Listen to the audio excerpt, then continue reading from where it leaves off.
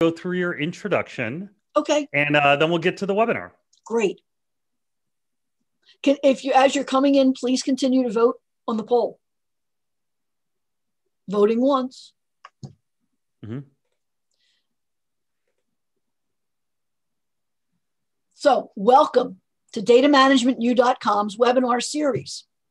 I'm Anne Marie Smith, and I'm the executive editor of datamanagementu.com, and I'm the moderator for today's session. We are happy to have the sponsorship of EW Solutions and OneTrust for this event. In fact, I can't wait to see what Leela can present. We have a poll. It's up right now. Please participate in the poll so that we can structure our presentation to an extent from the results of the poll. If this presentation and discussion generates any questions, please post your questions in the Q&A tab. Don't post them in chat because we moderate Q&A much closer than chat.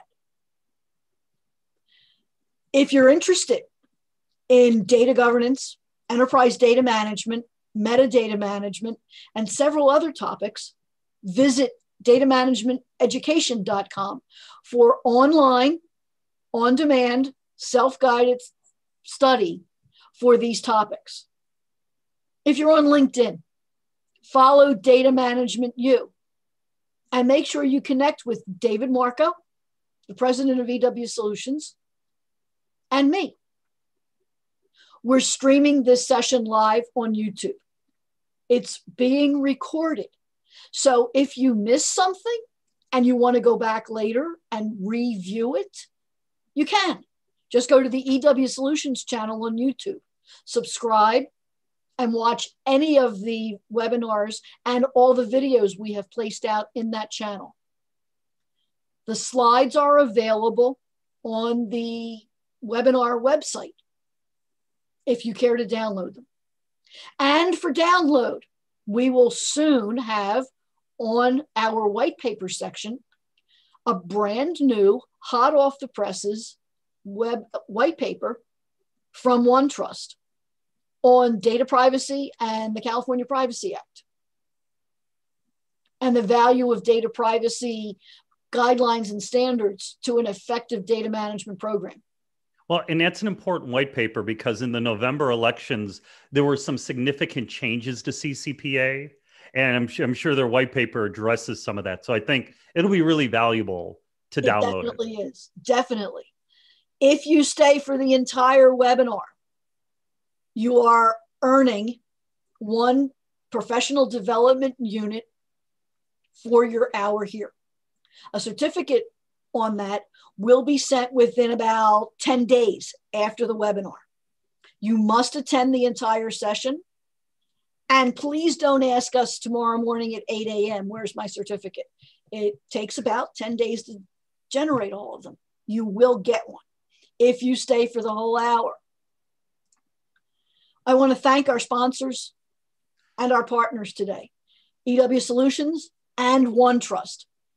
OneTrust is a leading company in data privacy, data security, data governance, and data intelligence. We are happy to have some partner organizations help us promote these webinars, including the Institute for Information Management, the Insurance Data Management Association, and IAIABC, the International Institute for Workers' Comp. Thank you so much to our partners and sponsor. So, what are we doing today? Well, the title is Data Intelligence Where to Begin. What we'll do is Leela Jacob will talk about how organizations can build a path toward data intelligence with the right platform. She'll start by identifying the definition of data intelligence and then talk about data privacy and data security activities that enable the reuse of data show how compliance initiatives for core data governance capabilities support data intelligence and can leverage artificial intelligence and machine language driven discovery. We'll also see how policies that are incorporated in data catalog can help control data access, retention, and use. There will be a poll result. David will talk about the poll results. And David and Leela will discuss OneTrust's capabilities in meeting these crucial learning points. No, David is going to grill Leela into the ground during the course of this. We're not going to discuss anything. I'm going to come in there with the hard hitting questions and we're going to have some fun. Doesn't that sound better, Leela? The other sounds too boring. Do your worst, David. She's up for it. This is going to be great. Okay, let me tell you about Leela. Our presenter today is Leela Jacob, who is the data governance solutions engineer for OneTrust. She's an accomplished data governance, data privacy, data security, and enterprise data management professional. And Leela has earned an information privacy certification, which is really important if you work for a company whose backbone is data privacy. Mm-hmm we're really thrilled to have Leela as our presenter today. And I can't wait to see how the president of EW Solutions and our senior technical architect, David Marco, takes her apart. and then puts her back together again. No, no, no. It'll be fun. Um, yeah, it will be. Leela, I will stop sharing now. And everything's yours and David's. Thank you. Absolutely. No, this is going to be a ton of fun. And let's look at as Leela's bringing up her slide deck, and Leela, you can comment too. Let's look at our poll. The number tied for first place, most answers, but pretty well spread, is each department or business unit interprets whether their data is meaningful, but we lack an enterprise view. However, tied for the top, 27% also is the data governance program has started to evaluate the concepts of enterprise data intelligence and how governance can support those. What do what do, what Leela and, and Anne Marie? What do you think of this poll? Any any thoughts on what we're seeing? I think those are very telling results, David. Those are definitely some common scenarios that I run into all the time at OneTrust. A lot of companies are just starting out and there's a lot of dissimilar definitions around regions and departments and that's definitely something that we do try to take into account. How do you want to communicate diff- different definitions different resources and create that that big picture? So those are my initial thoughts. Um, anne marie david anything that that you would add there i'm actually surprised that 20% of our respondents have an enterprise approach to data governance that includes compliance and data intelligence. I expect. I, I think that that's our audience. We have a number. pretty sophisticated audience. Um, but this doesn't surprise me because when when we see business intelligence programs at companies, most have been disjointed. Marketing needs a report, so they just go build it. Finance needs a different report, they build it. Those reports never match up. There's no single version of the truth. There's no enterprise view so th- these results don't fully surprise me because even Leela, you mentioned things like region and department. You picked very simple business terms. What about customer profitability, product profitability, these much more complex items? Um, I always love sharing the story. One of one of our long-term client partners was Mayo Clinic, and we had to define sodium and you think sodium, this is on the periodic table of elements. This is going to be a five minute discussion. You leave the room with 26 different definitions of sodium. Why? Because they would change one little molecule. And that's what the real world looks like. It's it's much more complex than what we normally see. All right, I'm going to stop the poll. Leela, take it away. All right. Thank you, David. And thank you, Anne Marie, for that great introduction. The one thing that I would add is also avid knitter as of this past year. Really? Uh, I crochet we're gonna have to talk about that after after mm-hmm. uh, the webinar today catch up a little bit more but absolutely as you've mentioned i do have a major background in privacy working with OneTrust we're always of course focused on that underlying nature of privacy and trust overall uh, but today of course i'm going to be discussing today's current data landscape and how OneTrust supports building a robust data governance program to bridge the gap between increasing volumes of data and the risk that it poses to organizations. Now, that being said, to build a trusted brand, uh, organizations need to employ a data strategy that transforms existing compliance initiatives into data intelligence. So, true data intelligence, as we define it, builds upon compliance. So, that background of, of privacy, everything is so interconnected, and it extends to the people, processes, and technology involved in the use and transformation of data into tangible business value. So when you look at a modern day organization's ecosystem, the sheer volume, variety, and velocity of data provides unique challenges for different stakeholders across the business. So like we've been discussing, lots of different stakeholders are going to be involved in this process, lots of different definitions, different types of data being gathered. There's a lot involved in this process. So, Leela, as you you have a term on this slide, toxic data. Now, I've heard of toxic people, but maybe you would like to describe what is toxic data. Yes, yes, absolutely. So, toxic data can be uh, a lot of different surprising things depending on the, the organization here. Um, but information relating to um, to specific, you know, individuals, information that we can. So uh, actually, I'll use an example here rather than trying to define. You know, going back to sodium, lots of different definitions here. Uh, but a good example of things that can be, you know, collected would be day to day organizations can collect information based off of just human interaction that might seem very innocuous. One thing that comes mm-hmm. up a lot to us, um, any sort of systems that require a lot of you know, human input or don't have a lot of structure to them, I'll pick on Salesforce as a culprit here. Um, we can store information based off of just our interactions. So I've had lunch with Bob. Uh, Bob keeps kosher. I want to take note of that within Salesforce. Now I have some information that is going to be highly sensitive. This is information that I wouldn't necessarily think twice about. But here, you know, now we have information that we are collecting that's surprising that can be combined with other things. And now we have uh, a vulnerability within our organization. Right. And, th- and that is one of the challenges, right? You mentioned about privacy. One of the biggest changes in CPA, CCPA 2020 is the definition of, of what is PII, much broader. So if I'm able to piece some things together and be able to uniquely identify you, they definitely made that definition much more broad. So kind of it's kind of interesting. So I think it's an important topic you bring up. Absolutely. And we tend to think of it as a piece of data, but we find much more commonly in in practice, it's combinations of pieces of data. It's not just uh, here I have a phone number. It's I have all these pieces of information together that now generate this very specific result and this specific potential vulnerability for for our company here.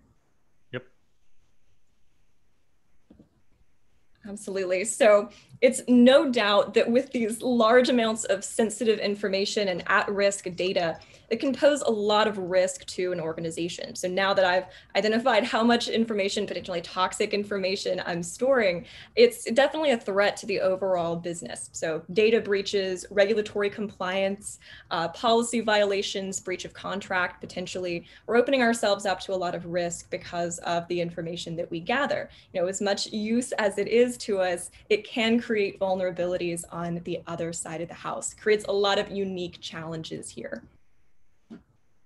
So in this complicated landscape, the goal of any mature and data aware organization is to effectively discover and manage this situation. So there's more data to be leveraged than ever before, and the business wants and needs this data more than ever before as well. So the desire and demand for the business is exploding, and the data is equal parts risky and valuable. So the more we understand, you know, our our uh, our interactions with customers, the more we understand our data ecosystem, the more value it brings to this company. But it also exposes us in the case of data breaches, regulatory risk, breach of contract, et cetera. So the solution to this that we've found is integrating this approach to achieve real data intelligence.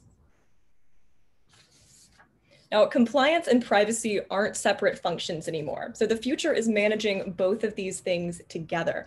And ultimately, to balance the paradigm, you need to be focused on compliance from the start as you extract data intelligence. So traditionally, compliance slows down the digital transformation, the business suffers, and value from the data is bottlenecked. So how can you sift through the data chaos, build a governance program that provides the business with data intelligence and remain compliant while doing it? That's the million dollar question here.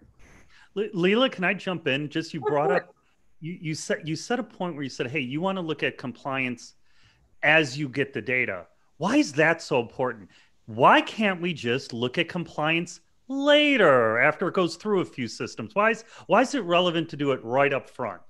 So I'm going to use another keyword as I as I explain here our perspective, privacy by design. I'm sure you hear that all the time. It's definitely baked into our process here. Before we even begin a process, thinking about the vulnerabilities, the potential compliance risk helps us to be aware of what we're doing all throughout the process. So rather than spending all of our energy trying to assess risk behind the scenes, we already have those processes in place. We're already along the entire process, you know, running scans, assessing what we're doing so that at any moment we can answer to how we're interacting with data. We can always be responsible throughout the process rather than, you know, worrying, backtracking and having this bottleneck of data. Right. Well, and, and that's an area where um, knowing your data, this reminds me of a slide that I've used many times where a lot of times people companies just want to jump to managing their data and to kind of give the whole point of the, the slide that i use very similar. It starts with you first need to understand your data. Until you understand what you're looking at you can't manage a thing. So it, it's a really good point yeah, absolutely. Absolutely. You have to truly know your data. That's that helps you go go deeper, really understand not just what you think you have, but what you actually have.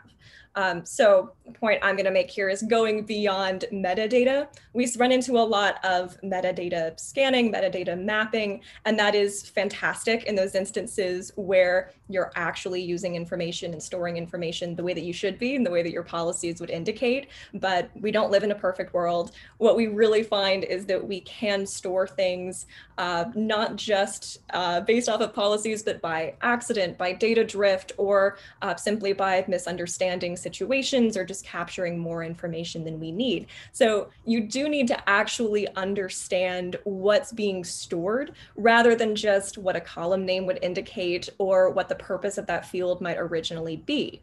So the way that we uh, we at OneTrust like to think about it is that um, we're going to look at the sufficient classification of data held in both structured, semi-structured, and unstructured data sources. So this relies on more than just initial definition, initial structure, initial best practices, uh, but we're actually scanning files of all those three types of data. So structured, semi-structured, and unstructured uh, columns in a structured database are often going to contain you know massive variances of data. So we might have you know a, a notes field we might have uh, names we might have addresses but in reality we're going to be storing a lot more information in those sources. So kind of to go back to my earlier salesforce call out you know metadata is going to get us so far as we know that we have certain numbers of fields we know that we're collecting in an ideal world email addresses, addresses, phone numbers, and then there are all of these notes and custom fields and what's actually going on there. So data that is wrongly classified or unclassified, that's not going to be part of our understanding if we're just looking high level best practice. So we're gonna try to combine all of those things together within the demonstration as well, give you a little bit more of a, a visual understanding throughout the process here. Well, and those notes you mentioned notes and customized fields, those are a nightmare to deal with because oh, yes. it, it, can be anything and it's not even consistent. In in one customized field, they uh, so we had a client partner where they had actually medical notes from a doctor that were actually images, and, and you could imagine trying to scan images for a doctor's handwriting. horrendously difficult. So those can be very complex. I'll be interested in as you proceed forward on how you handle that because that is a sticky one. It really is.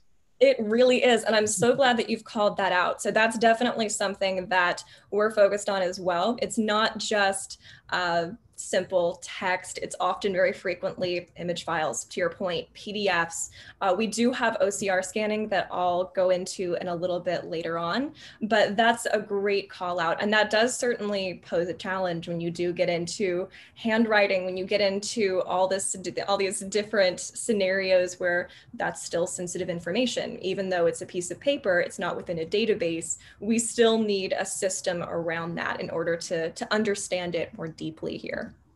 Well, and, and it is a challenge. You you just hit on something. It just reminded me of a story. We are working with the FBI a number of years ago, and, and as you can imagine, piles of unstructured data, just audio, video, and multi-language too. Very difficult. And one of the interesting challenges we had is even data sitting in a column on a database, you can't always trust. So one of the interesting things we discovered, so Leela, I'll give you a little quiz here. This will be fun. Is when a police station arrests someone and they don't have the you know a proper they don't have a name that you can believe in you know like it's a five foot tall person and her name's michael jordan out of north carolina you're probably not buying it. Um, you know they have false credentials. Guess what? So police uh, departments have systems where they put in perp name for lack of better term. Mm-hmm. when they can't trust the perp name can you guess what they many times will put in that field I have an idea, but tell me. The name of the arresting officer. Oh, I was way off. That's very interesting. I, could I tell you how that we figured this one out? So we're at the Hoover building, piles, terabytes of data coming in, and we kept seeing like John O'Malley from Jordan, you know, like or or Saudi Arabia. And we're like, you know, John Manelli. You know, it's like, wait, you know, these are not folks born in that part of the world. And so we started asking questions. We found out, oh, these were the arresting officer names of people who had false credentials. So, you know, this is why when you hear about, you know, five-year-old kids turning up on watch lists, this this is kind of how it happens. It, it ends up being a data problem, and it was one where nobody told us. We we figured it out just because the names just they just didn't make sense based on culture and, and background. So I just thought I'd share the story. I was thinking about it. This is complex. Now, I gave a very over the top story. All companies have this to a greater or lesser degree. So I'll, I'll let you continue. No, that's a great point that you bring up, and a good example of you know a, an enormous sensitivity level in that data, which I think keys up this next point pretty well. It's not just about identifying all these individual data elements, you know, names, emails, etc. Uh, it's also about understanding how sensitive each area is so that we can keep track of those specific places and look for those trends. Um, so in that scenario there, you know, frequency the, with those names that appear was a, probably a great tip off. Uh, this pro- this individual, this arresting officer, probably would not have been arrested that many times. So you can see those patterns in data uh, naturally emerging there. So that is a fantastic example these hierarchies are going to be very specific to, to organizations, of course, to law enforcement. They're going to have their own ways of categorizing, categorizing that information. Um, we're also going to look at it from the perspective of regulations that would need to be enforced because of that kind of information. Uh, that's course, also going to depend on industry. You know, we deal a lot in the, the medical space as well. So calling out things like HIPAA. Um, anytime when we do capture information that's related specifically to those areas, having that hierarchy, having that organization is something that we do place a lot of focus on so that we can start to identify those trends and um, you know, place the, the appropriate safeguards in those situations couple additional things that I want to highlight here, getting back to the process in hand. So we've identified our data, we've uh, categorized our data. You know, we, ha we have um, arresting officers versus, versus criminal data here to go back to that example that I love. Uh, now we actually need a process that we're going to be, to be utilizing to control this web of data that we've identified and that's growing over time. So processes that can be continually reused and that can be impacted impactful across the organization, not just to the privacy arm or to the governance arm. One thing that I, I run into a lot, uh, particularly because OneTrust has been around in so many different areas, talking to so many different departments for the same customers, um, a lot of people are using separate tools for these different purposes a lot of departments are going to interact with the same data. So we do have you know, privacy organizations who are going to be privacy arms the organization who are going to be focused on HIPAA, CCPA, GDPR, et cetera, you name it. But then we also have the IT and risk side of the organization where we're focused on placing the appropriate security controls on that data, not necessarily concerned about privacy, but concerned about locking down information, not having data breaches, and then you're going to have people concerned about data quality. So all of these different individuals have one piece of the puzzle. And when this is being done in a silo, we have people duplicating work, we have a lot of inefficiencies, and also we just aren't getting the clear image when we have these separate tools. So one thing that we're focused on that you're going to be seeing within the tool here is just creating that easier view so that when you do make those insights into data, when you do understand what you're looking at, that's going to be uh, obvious across the entire organization. You know, you don't have to make that inference and then have uh, the IT side of the house have to make that same understanding, take that same step into looking at the data in order to understand how to lock it down. You're all viewing the same information. You can all collaborate very easily. And Leela, can I jump in because you've hit a, bu- a hot button topic for me. the silos of this. Oh yes. I I remember. I'm not going to name the organization. Huge pharmaceutical, and we're brought in to say, hey, should we do data governance and data privacy enterprise wide? And the way we validated was they had nine data governance and privacy point solutions, just little departments doing three, four people doing something. They may even have a tool. They had seven more that were in, or five more in development, 11 more requesting funding, all of them point solutions, not one enterprise approach. And when you do this work in silos, they are not going to do the work the same way. It, it will be disjointed and you're and there's still going to be huge problems. So I, I think I really like this slide and your previous one. I, I would just urge our audience we need to do this enterprise wide. We need to have a good structured approach because the siloed approach, we we have to rebuild this garbage all the time and it doesn't work. So I just want to bring that up. And I would point out that it doesn't apply just to massively sized organizations.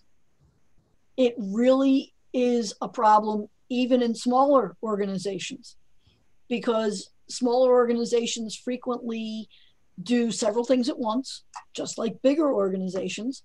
And they have a silo for this, a silo for that, a silo for some other process, and everybody's running at their own speed. Even smaller organizations tend to not think in an enterprise view unless for some external reason they're forced to do so. Absolutely, and that lack of communication, as as you say, Anne Marie, that is not um, only a big organization problem. It's really easy to think, regardless of situation, regardless of industry or size of a company, um, you know, IT department that's not going to affect privacy, marketing that's not going to affect data governance. You know, there's there's that assumption that uh, we really only need to look at our own paper when really we can be so much more effective. You know, looking outside of our specific or specific need or use case and looking at an organization's pain point as a whole and how we can collaborate, use the same data more effectively all together here. So I want to walk through just a couple of different use cases, uh, different examples before we move into the, the product itself. The first example here, processing information for a new purpose. We're going to say a business wants to use customer data for something entirely different that it hadn't been used before. So say we've collected information initially for marketing. Now we want to use that for not just a campaign, but for more, uh, for, for a second step outside of the organization here. A business request for that usage is going to trigger a, a, PIA. So we're kind of talking privacy terms here. Uh, we're sending out a request for that usage because now we have a different processing purpose. Uh, we're going to check the ROPA for that legal basis of processing. And then depending on the legal basis, we have policies that we need to update. And we also have to get updated consent. So once the PIA has been approved, proper privacy updates made, then the access is given, but we might only be able to give access to to data collected after updates because of the new purpose. Um, so here already in this example, we're touching a lot of different potential tools, a lot of different uh, needs, all because of one simple change within an organization. And this is already something that we can see, um, you know, this, there could be limited views, this could be very segmented. Leela, is PIA privacy impact assessment Yes, thank you, Anne Marie. I apologize. I have a terrible habit of speaking in acronyms, uh, but yes. So do we all. Great call out here. Our second example, really quickly, I'm just going to run through these and then we'll see some examples kind of within the tool. Uh, but business, a business requests a new department be granted to customer data. Okay, so here we're talking about uh, access within an IT department. We have a whole new process that we're going to carry out. Before that access can be granted, uh, there are steps that an, that an employee has to walk through. So we're talking about training courses, uh, reviewing and accepting policies. There's that word again. And as employees in that department complete these tasks, their access is approved. Any new employee joining that department has to do the same. So here we have a repeated process here. All right, so now we're going to get into how OneTrust is actually going to help with these, uh, these very siloed processes and requests. As I transition over into the demo itself here, are there any additional questions or points to bring up from the uh, presentation portion today? Okay, we have two. We have one that asks, why was the term toxic data used for personally sensitive information. This organization takes the term toxic data to mean data that's at dispute within the organization. So, how would you define the differences between those two types of bad data? Um, great question. So we're definitely going to have some some different definitions here. Uh, within toxic data, we can use that in a variety of different ways. Um, something at dispute that might be a kind of an interpretation from a, a legal perspective. Privacy might view that a little bit differently. Um, so that was definitely a vague example that I used previously. I apologize for that. Uh, but does that conversation kind of help to to address mm -hmm. the mm-hmm. initial? Okay. Yes. Perfect. And one other question uh, what's the definition of ROPA? What does it stand for? What does it mean? Perfect. So uh, for uh, the ROPA example earlier here, and I apologize again for all of my acronyms. Um, we tend to use um, ROPA when discussing um, you know, processing activities, when discussing uh, purposes of processing. Um, sorry, not a, not a great definition, but does that kind of, um, and then the actual uh, abbreviation record of processing activities. Okay, that's that's good. Thank you very much. Of course. All yeah, right. and we have a lot of friends out in, um, you know, the the um, Institute of Information Management. They have a lot of people who really understand records management. So I'm sure they were all over that acronym. But I'll, I'll let you continue. We have so much to do yes, we have a we have a lot of content here. So I'm going to reshare so you can see my demo environment and just let me know if you don't mind when the series of tiles is coming across. Uh, oh, I see it definitely. fine. All right, perfect. So diving into the tool itself, I'm a very visual person. I find that this is going to, to clarify a lot more than, than PowerPoint can. I'm going to start with the actual automation. So identifying information, looking directly at the source to see what kind of data we have stored, categorizing that data, and then we're going to be viewing those results within our catalog structure. Uh, but as I go throughout, please feel free to keep those, those Q&As coming. I'm happy to stop at any point to address any questions within the platform here jumping in first to the data discovery portion, what you're looking at here is our data discovery gallery. So this is where we're going to start interacting with systems themselves. So here we're going to be looking at web applications, databases, and file servers, file shares. Those are what we define as our sources here. So we're going to connect to them individually in order to get more, uh, more detail and we're actually looking at the information itself but we do look behind um, security protocols. So what we're going to be doing here as I launch a connection we use a term called worker node. This just means that we are installing this behind security protocols. Uh, going back to privacy by design, we always want to make sure that we're scanning as close to the source as possible. We're not in the business of creating a data lake or copying this information over. Any information we look at stays at the source, and we're just reviewing it, and we're going to be working with metadata when we're actually in the tool here. So we'll be categorizing, classifying, and that's what you're going to be seeing within the tool itself, I've set up a connection to our, our test system. So we're using S3 as a quick example here. We're just referencing our credentials, sending our results, in this case, into the catalog. Very simple setup. You're looking at our, our wizard view. So we have essentially plugins that we utilize for connecting to known systems, systems we've connected to in the past. We also have custom connectors. So for organizations using legacy platforms, using um, custom homegrown platforms, we do have the ability to connect to those as well. We're going to be able to fully control how we look at a system as well. So this is going to be completely determined by the individual organization, how much data they have in certain systems, how frequently they want to review changes to these systems. So the first thing that we're gonna do out of the gate is create a schedule. We want to make sure that our catalog is as up to date as possible. So we're going to be continually looking back at that source, refreshing our results here. And then we have certain methodologies that we can break down into how we want to look at data.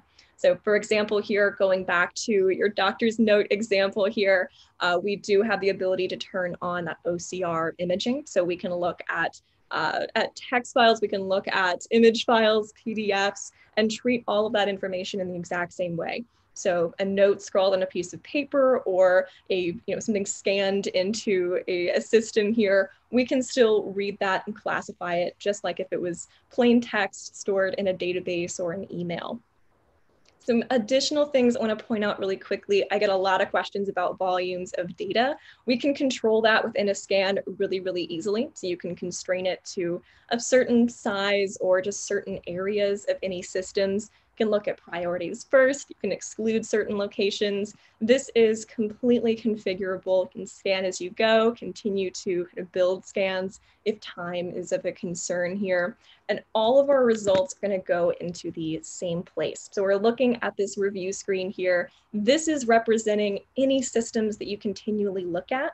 We're always surfacing changes. So you're not only going to know, you know, a, a, first snapshot of your systems and how you use data, but we're actually going to be pushing those changes here so you know when you're storing different types of information, when uh, new things are occurring here. So for example, you'll see the metadata at that system level. This is us telling you the location, the types of information that we would expect based off of things like field names, and then what we've actually discovered. So you'll see here, we do have a mixed bag of what we would call helpful metadata, like our account ID, and unhelpful, like this scanned document here, um, or you know anything that might be custom. I see a lot of just custom field two and things that are really unnamed or more technically named. So we can use that metadata when it helps us, but we're also looking at the actual data level. So here where we just have this document, we've still found some information here. We have actually a very high confidence score for names. We've looked at that data, we've found names in there. We don't need metadata to tell us what we expect to find there in that case, uh, but it can certainly also be very helpful in cases where data might be too specific. So an example that I like to use here Uh, things like date of birth, you might want to rely more heavily on metadata like birthday, birth date, DOB, because the data is just going to give us a list of dates. So we're going to compare against both in that case. Uh, there are also instances, you know, where data might be encrypted inside of a certain area in a database, but we can still look at our results and we can still say, well, that column's named account ID or ID. So we can still use that information to help get us along. Some other examples, things that we're going to be using in this process here. Uh, this is just, just what we call our classifiers. So these are all out of the box. You can also add your own. Um, but for example, here, if we want to find credit card numbers, we don't need metadata. We can just look at data and say based off of formatting examples that are common to you know, an Amex or a Discover card, we can still flag that up, capture that information, and say this is a credit card, even though we found it somewhere completely unexpected.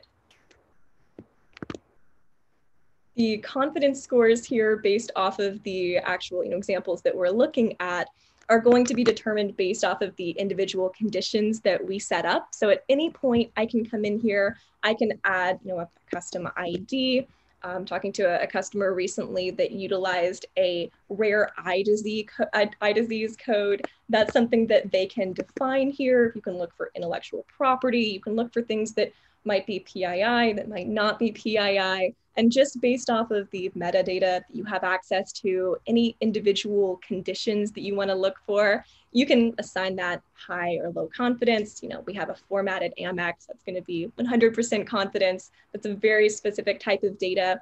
Or it could be something uh, where it's unformatted or maybe even truncated or encrypted. That's going to have a lower confidence for that kind of condition here.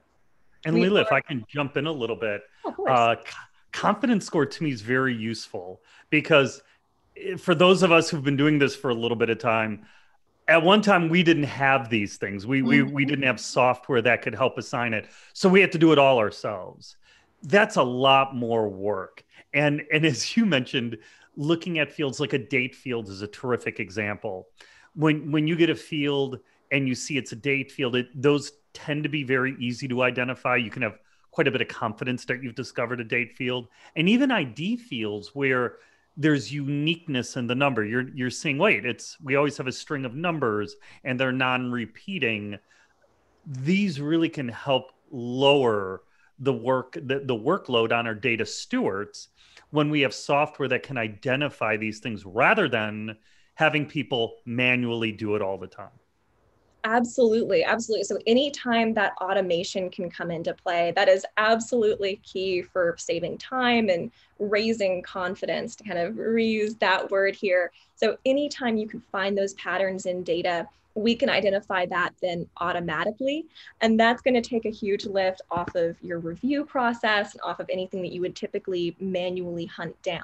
So once we have those patterns to, to utilize, and I'll use another customer example. I was working with the museum whose specimen ID coincidentally looked very similar to a social security number. We were able to identify you know, some good patterns, conditions that made it unlike a social security number, drop that in as a classifier, and now we're going to automatically pick up on that difference every time and sort social security numbers from those unique specimen IDs. And we're also automating even the approval. So once that's been trained, once we're seeing those high confidence scores, those confident matches against the data that we're looking for, we can automate that approval process too. So we can find, you know, any range that we're comfortable with, maybe 70%, 80%, and that confidence score, meaning we have really clear matches in our data to what we expect. We can go ahead and approve those. And then we're going to be getting into, you know, our day-to-day interactions with what we've approved, what we're comfortable with versus, you know, what we're reviewing. This in those samples, can I ask a question? Like a lot of people don't realize social security number is not just a unique first off it's not unique at all. That's mm-hmm. number one. When social security first came out a, they gave an example of it and many people thought the example was their number. So most of those people are no longer with us but social security not a unique identifier and there is intelligence in that number that's right. unfortunately.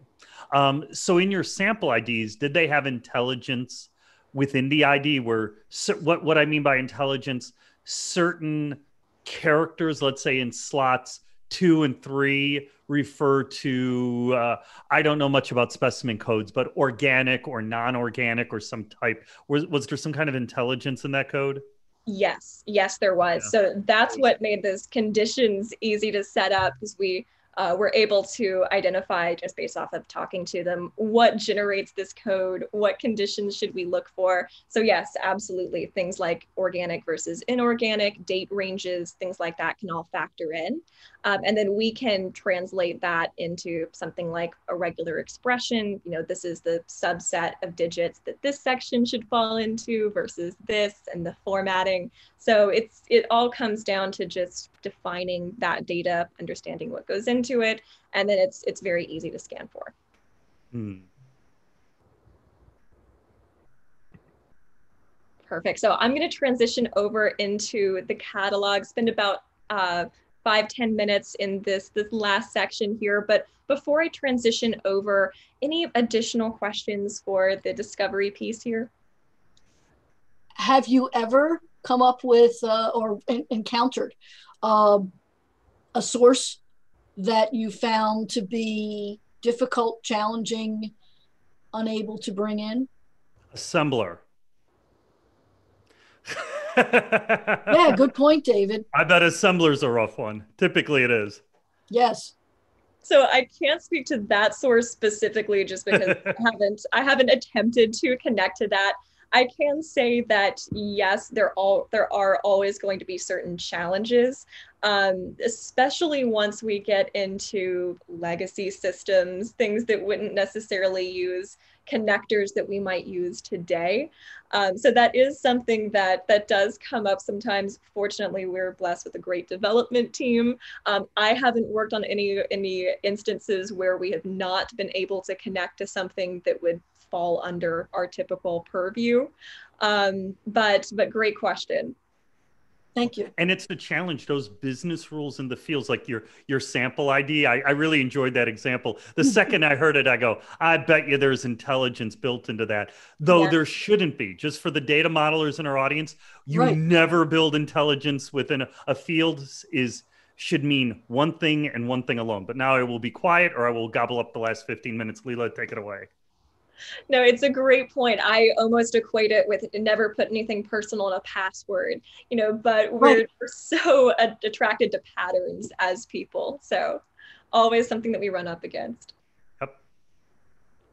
So moving into our catalog here, just getting into organization of data, associating policies, you know, the intelligence going into managing what we've discovered couple of different things going into this that I want to, to highlight with our next 15 minutes here. One element is the data dictionary. So this is where we're organizing by data source. So we've connected to a system, we've discovered data inside automatically. Now we're gonna use the data dictionary to actually follow that logically look at the structure, the schema, identify exactly where data is stored. So this is where we're really getting into the meat how we're going to be managing information.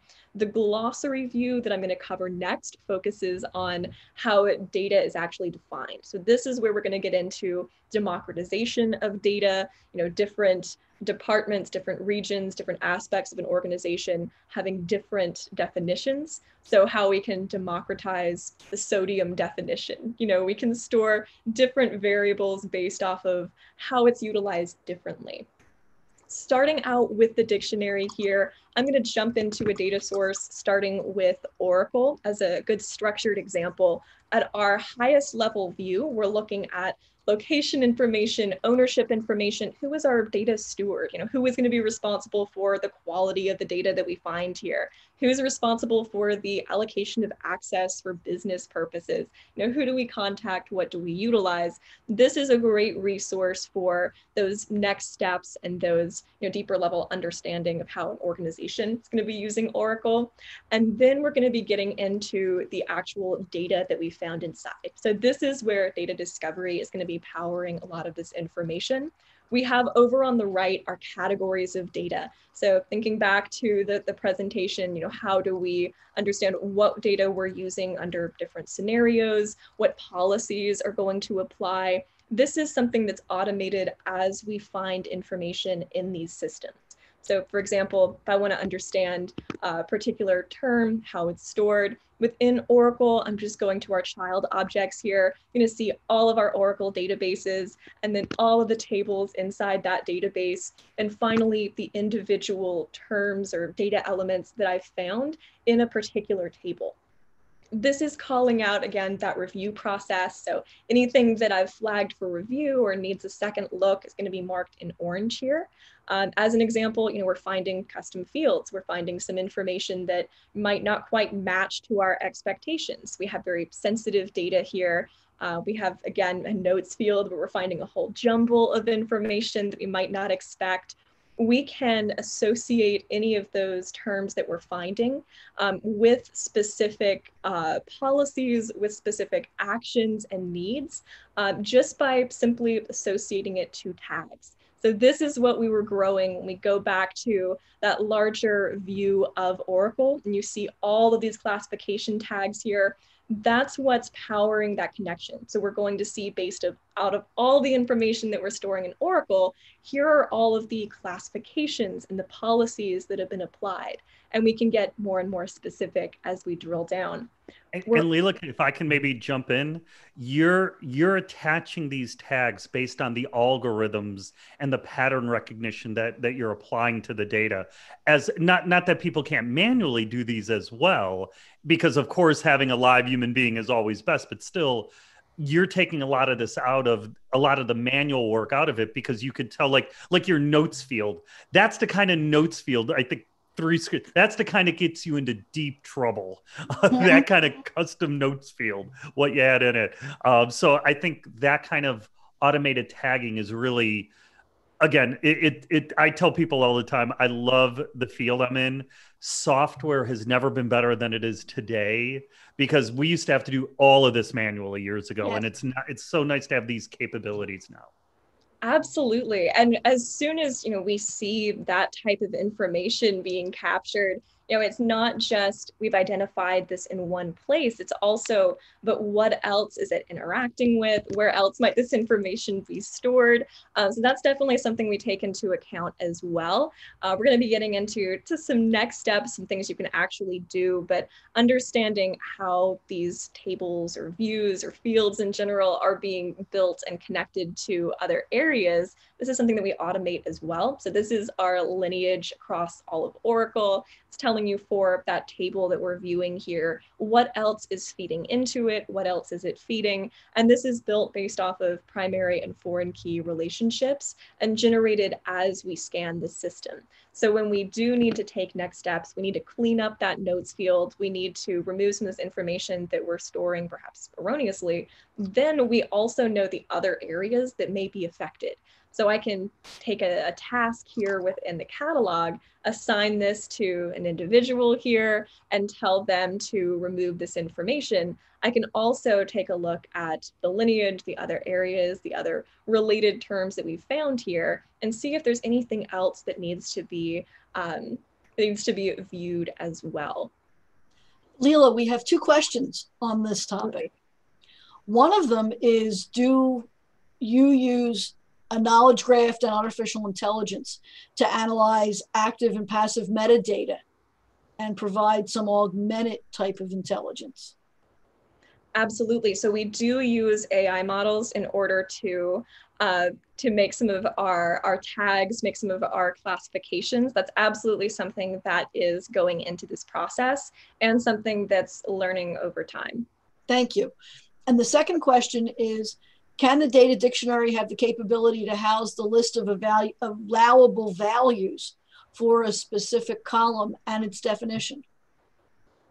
Certainly. So, if I'm understanding that question correctly, it's um, more of this is the kind of definition, this is the expected formatting, this is what we would allow in this field. Yes. Um, so that's something that we we absolutely do lay out here more of a feature of the glossary. So what we're going to do every time we identify a certain type of information, like a data element, that's going to be defined here within the glossary. So data discovery is populating this as well. It's also something you can import existing definitions, create new definitions at any time, but we are laying out here for each of the uh, glossary terms, you know, formats, allowable fields, and this is also something that can be configured. So any data quality uh, needs formats that you need to keep track of, that's something that you can add as your own attribute, as your own tag to continually look for and maintain. Okay, I think that answers the question even more thoroughly than the requester asked. Excellent. I was using that as a jumping off point for, for one last feature to show. I know that we do have only a few minutes left. Mm-hmm. So last two things that I wanted to call out here, of course, the ability to search. So we can look for anything across the entire catalog, anything discovered through data discovery, find things like where are my uh, unencrypted social security numbers. And of course, everything is also captured in our dashboards as ongoing trends. Wow. This is impressive. David, any last comments? No, but I, I again, I, I think what's what's relevant here is historically companies try to do all this stuff manually. And really now you're able to bring capabilities and using automated capabilities to me is where it's at this example it's a it's a nice demo there's a lot of data in it but it, as everybody on this call knows when you get into global 2000 companies they have millions of data elements and there could be thousands of data elements that just mean the same thing and doing all that manually is is an awfully long road to sled so i think this is a great example of what you're able to do if you put in the correct processes and capabilities in place. Absolutely. Great point, David. Are there any additional questions for me before I hand over the reins here? Um, not at the moment. I think you have all of two minutes, Anne Marie. Yes, and that's okay because I can do two minutes. Uh, we are thankful for Leela and David's presentation today. Leela, your presentation was wonderful. Um, I, I would love to see more of this product and learn more about data intelligence from OneTrust perspective. So perhaps you'll come back.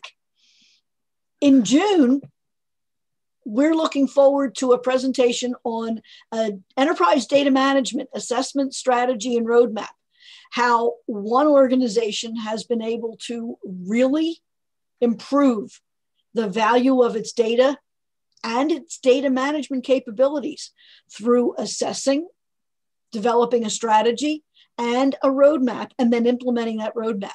Andrew, Anne-Marie, can I jump in? Can yes. I jump in quickly? don't miss next month. Andrew, we have known Andrea for years. I we have wor- I've worked with Andrea as is Anne Marie. Super bright, has done as a long time professional. She she's just going to kill that conversation. Brings so much knowledge to the table. So don't miss next month. I can't wait. Oh, it's going to be great. I've already seen a overview of this. I can't wait to see it as well. Thank you for attending. Thank you to our sponsors, EW Solutions and OneTrust. If you want a copy of the webinar recording and the slides, they're available at the URL here, ewsolutions.com, data management webinars. We will be sending you your certificate for attendance in the next eight to 10 days. If you're interested in learning more about data governance, metadata management, and other topics, go to datamanagementeducation.com. And so that you are alerted to all the content we have on DMU, Data Management University, especially our very valuable webinars, go to datamanagementu.com and subscribe for free. We will keep you informed. Thank you again. Have a wonderful